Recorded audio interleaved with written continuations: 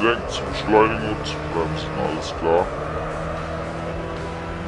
So, Automatik haben wir jetzt hier leider auch. Treten Sie auf die Bremse, sobald die Ideallinie rot wird. Alles klar. So. Ja, das war jetzt hier ein bisschen wenig gebremst. Aber egal. So, kann ich wieder nach Kamera ändern? Jawohl, so will ich das haben. So, dann drehen wir hier jetzt erstmal